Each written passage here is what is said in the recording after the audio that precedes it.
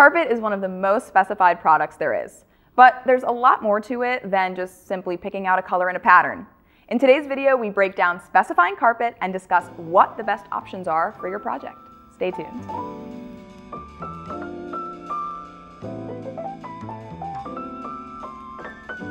Hello there, my name is Kelsey. I am the founder and creative director of KLSY Design Studio, a full service interior design firm specializing in commercial spaces for small and boutique style businesses. Welcome back to our design video series where we create video content for designers and clients about everything commercial interior design. If you're new to our channel, welcome. Be sure to hit the subscribe button, follow us on Instagram, and check out our website at www.klsy.design where you can sign up for our email newsletter. In that newsletter, you'll receive access to our designer cheat sheets. Those are free printable PDFs for you as a designer to reference when you're designing.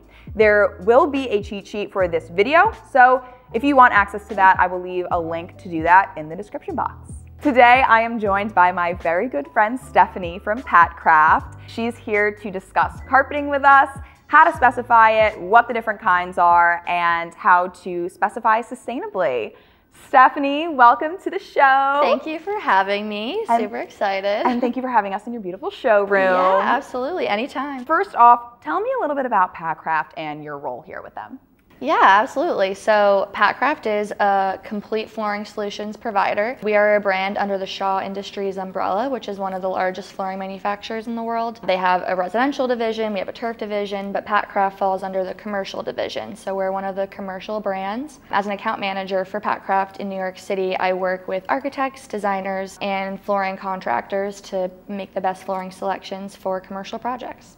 So before we get into the specifics of specifying carpet, what are some of the general benefits that designers can expect when specifying carpet. Why is carpet a good solution for any space? The number one reason I would say is acoustics, right? So really the best um, flooring solution for a space if acoustics are a concern is carpet. We have other solutions if resilient has to be specified and you can use an underlayment, but really carpet's gonna absorb the most sound within a space. The other reason people would specify it is really for the design. So we have uh, a lot of different options running line in our line, of course, that are designed by our amazing designers in Georgia. But you also, as a designer, are able to kind of play with it, you know, change out a yarn color, we can do customs. So you have a lot of options aesthetically. And then also cleanability. You definitely want to specify a solution dyed carpet in any commercial space where there's going to be high traffic.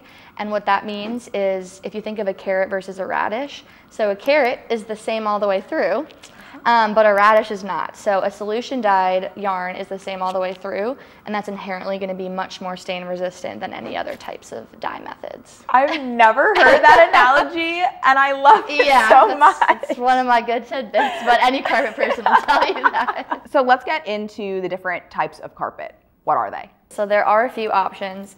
The number one most popular, especially in commercial, is carpet tile. So that's become more popular because it's easy to replace. So, you know, if there's a major spill or issue in a certain area, you can just pull up a few tiles and then replace those. Also, what's cool about carpet tile is there's different shapes, so that helps you get that sort of different aesthetic. So there's plank, you know, tile, we have 24 by 24. At Patcraft, we actually have a facet shape, which is like a diamond shape. So you can kind of do. Oh, really? Yeah, some I've fun, fun different installs with different shapes. And then the other type of carpet is broadloom. And we see that specified often in maybe TI, maybe lower cost projects. But then on the other side, in more hospitality. So there's a lot of custom broadloom that you see in, you know, boutique hotels or even hotel chains. And we have running line broadloom styles as well, but we do see a lot of customs for broadloom being specified. Another type is walk-off. So we have walk-off carpet tile and broadloom at Patcraft. What's good about that is, you know, you put that in, in the entryways and it's made with this scrubber yarn that's meant to actually take the dirt off before it gets to the rest of the building so that you also, it helps also to save on maintenance throughout the space. I feel like walk-off carpet is one of those things that people, it's kind of like an afterthought people don't really think about, but it's so important to the space not only to keep the rest of your floors yeah. clean, people kind of wiping their feet, but correct me if I'm wrong, air quality and just like the overall health of a space. Absolutely. Um, at least from my sustainability experience, having a walk-off mat can can promote the um, the air quality of a space. Yeah, yeah, no, you're definitely right. Um, and overall, just lifetime of a space. So if you don't have walk off, you know, the products that are throughout the space are probably going to wear quicker than if you did because it would stop a lot from getting to the rest of the building, especially, yeah, even like, you know, spread of dirt and things like that. So those are kind of the three main types. You also can specify adding an attached cushion to it, to any of our carpet tile or our broadloom, and that would additionally help with acoustics as well as comfort underfoot. Um, and- So a, a cushion underneath the carpet to give it a little bit more height, a little bit more cushion. Right. Got it. Yeah. So there are a lot of options that you can do just depending on the type of space you're working on, who's going to be in that space, what's important to them, the inhabitants and the designers and things like that. The difference between carpet tile and broadloom, you mentioned that if you spill something on a carpet tile, it's easy, you can just pick up that tile and replace mm-hmm. it. Um, what are some other, I guess, pros and cons of each of them? Well, one I always think of, which is pretty specific to New York, it depends on the freight elevator situation. If you think about a huge broadloom roll, like if the freight elevator can't fit that up to the 19th floor where they're maybe doing a renovation, then you know that might not work for the space. That is such a New York, not New York specific problem, but a problem Yeah. that we have so often. Yeah. that is like the worst thing ever. Exactly, yeah. Or even like getting something up the stair, like even a piece of furniture, getting a piece of furniture up the stairs in your own apartment. Yes, it's, it's something you need to think about. Yeah, I feel like you never think about it until you're in the moment and you're like, this isn't gonna fit. Literally in the moment, and your installer's like, what the hell? yeah, yeah. And then I will say budget. So typically, it, I mean, it depends on the style and the yarns that it's made from. But some of our more cost-effective or, or cost-friendly collections have our broadloom. But we also have budget-friendly carpet tile, and, and just in general, that's kind of the preferred in commercial spaces. But again, we're seeing it mostly in hospitality um, and TI spaces for broadloom. Talk to me a little bit about the actual construction of carpet. Every carpet manufacturer is going to have their own proprietary backing. So for Patcraft and Shaw Industries, ours is called EcoWorks, completely PVC free, which is great, sustainable for sustainable purposes. And then we also have a lighter weight backing called StrataWorks that's also meant to help with cost. And because it's lighter weight, we can fit more tiles within one box, so you can also save a little bit on freight and for sustainable purposes as well there. And then the yarn type. So there's a lot of different types of styles with carpet tile. Regular loop is most common, but there are some cut pile styles, so that's gonna kind of give you that plushier look. Think about it being like cut off, so it kind of has that more plush look. It's not the loop side, it's the bottom side. So it kind of has that plushier look. You see it a lot in maybe retail spaces or even in corporate offices. I've seen uh, if you just want maybe like a simple solid look, but kind of have a little bit of elevated texture and plushness. But the regular loop carpet tile is kind of the most popular. It's the most durable because if you think about not the loop being uh, up front, but the, the bottom part, they can crush over time. Then we have tip shearing. At Patcraft, we have a couple collections where you actually use a mix of both regular loop and tip shearing to kind of create, you know, a different aesthetic. So there are just some different pile heights that you can play with. And obviously, if something's really plush, I wouldn't I wouldn't put that in a high traffic area. Even maybe wool area rugs. Um, depending on the edge type, they might not be ADA compliant if they're too thick and plush. But sometimes you might want that in like a hospitality, you know, type space where you want it to feel more residential and homey, but then still, you know, specify products that are going to hold up. Yeah, definitely. With carpet, it's that thing where you really need to be mindful of not only like the cut pile um, for the durability, but ADA is so important. If you have a carpet that's too thick, it's it's hard for people they can trip over it. Yeah. Um, I know I've tripped over my fair share of rugs yes. in my days. yes, exactly. Yeah. So so that's also something to keep in mind. I mean, rugs are another genre of carpet that I guess I didn't even touch on. And there's so many different options, but what we can do as well is create an area rug from any of our running line collections. So we can actually make an area rug out of carpet tile, which is pretty cool. And then you can select the edge type. Serge is pretty popular, but we also have an ADA compliant rubber edge. So that is important. And then even just carpet in general, if it's gonna be in a space that's high traffic, you definitely want something that's ADA compliant. So all of our, our carpet is nylon, which I didn't mention earlier, and uh, they're all ADA compliant. Walk me through the process that a designer would go through to actually specify a carpet, either with you guys or with another manufacturer. What does that look like?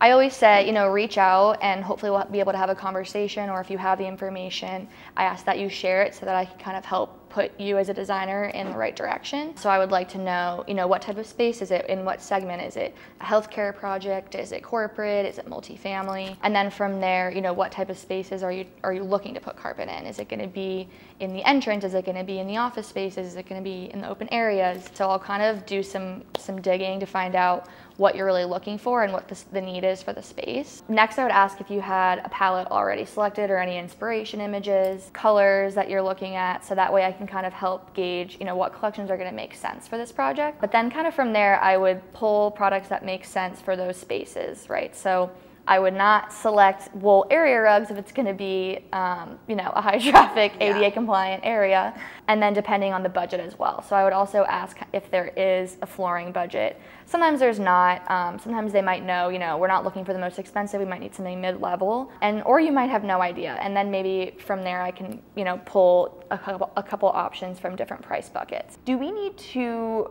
specify the backing specifically? Because I have been on some projects where the contractor has asked for that, and if so, what you know kind of advice would you give to specifying that?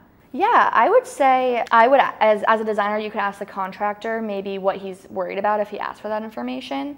Um, but it could even go to the point of maybe they want to make sure it's a cushion back and um, and those types of things. So our regular hardback might not be what they want. So then we would have to price it with the attached pad. So when a carpet is installed, it is directly glued to the floor. Is that the only way that a carpet can be installed, or are there no. Good question. there are different ways. So pressure-sensitive glue is is the most popular because, as I mentioned with carpet tile, you want to be able to pull it up and replace if you need to, but you also want to know that it's going to stay where it's installed. So that's that's the most typical adhesives. That's a glue down. But we have other solutions if you need something more temporary. We have what's called LokWorks. So they're basically sticky tabs that you can use and you stick one side to the carpet tile and one side to the floor and you put them on the corners of all the carpet tiles and that will not damage the subfloor. So, you know, mm. say you're working on a hmm. project and the tenant's like, we're only gonna be here one year. What can we use that won't damage the subfloor? That's a great option. It's like a command strip for yeah. your apartment. Yeah, because we I move every single year in New York because they jack up our rents yeah, every year. Yeah, exactly. It's like flooring command strips. Yep, yep. and I have carpet tile in my apartment, and we do use that, so it works.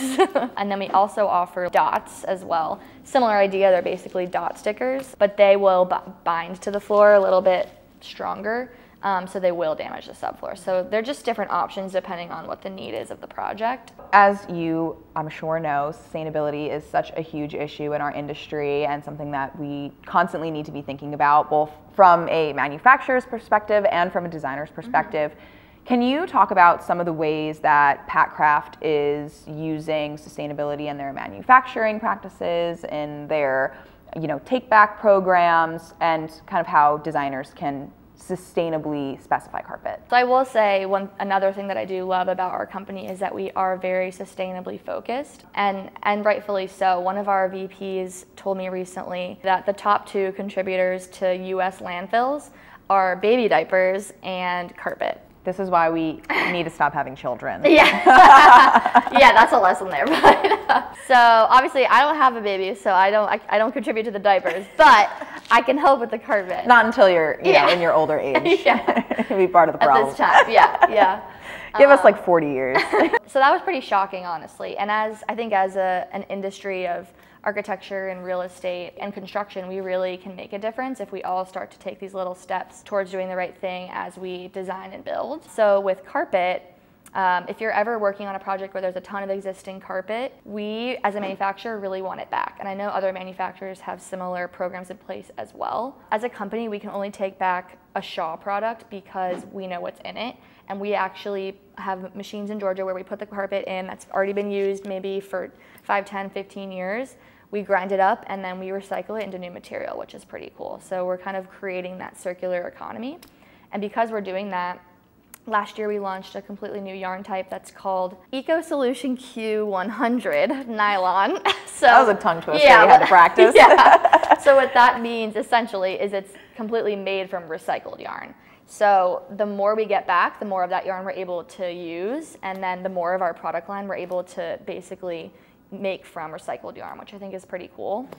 Because Patcraft is a sub brand of Shaw, you guys will take back any Shaw pro, like any Shaw carpet, even if it's not Patcraft. Correct. Yes. So EcoWorks, as I mentioned earlier, is our backing. So any EcoWorks backing product could be Shaw contract, could be Patcraft. We would take it back. You know, if you're working even with a demo and maybe you don't know how that's all going to go down, we're happy to connect with them or the contractors just to learn a little bit about maybe what the demo scope is. And if there is an opportunity to recycle carpet, we would love to take it back. This is like something that I think about all the time, and I feel like it's it's so overlooked because like literally, you know, you sign the drawings, the contractor gets in there, and they just start ripping things out. How would you know if a carpet is a Shaw carpet or like would you guys come and look at it? Would we send you a photo? Yeah. Like how would we as the designer help that process and help figure out what it is? No, that's a great question. Any of those things you mentioned. If you snap a photo and send it to me, if you're able to like maybe go to a corner and peel up a corner and take a picture of the backing, then we'll know immediately. On the back of all of ours actually has the recycling phone number, which is pretty cool. Really? Yes. yeah. I didn't know that. Yeah, yeah. So I mean, most people don't. So, um, so yeah. But if once you take a picture of the backing, we'll know immediately. If you take a picture of the space,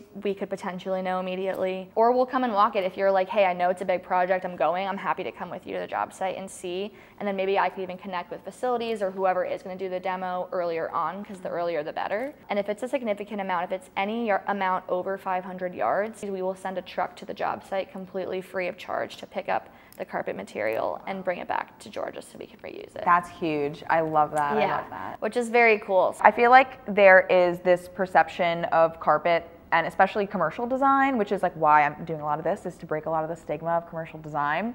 Is that you're always specifying the gray carpet in the office and it all looks the same and it, you know, it doesn't really matter what who you specify because it all looks the same in the end. Yeah. And what I love about Patcraft and the products that you guys sell, you have those like very simple, basic gray carpets for the clients that still want that, but you also, uh, especially recently, have come out with a lot of products that are different and you can be a little bit more adventurous with Yeah. with your carpet specifications. So I always love working with you guys and seeing what you come out with. Yeah, well, we appreciate that. We have a really awesome design team um, down in Georgia who design all of our beautiful products. And yeah, I think we've won Neocon and HIP Awards the last five, seven years, which is awesome. So agreed, it, it is exciting to have fun products to talk about.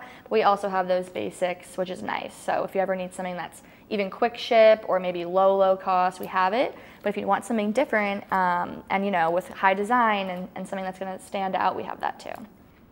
Did we meet at NeoCon this past year? Or- Yeah. That was like where we met. Yes, it was. I like I was thinking that recently too. Yeah, it was. That's like so. That literally wasn't even a year ago. No, I, feel remember I got your card and I was like, oh, I want to follow up with her. I loved her. I know. I like. I walked in and I.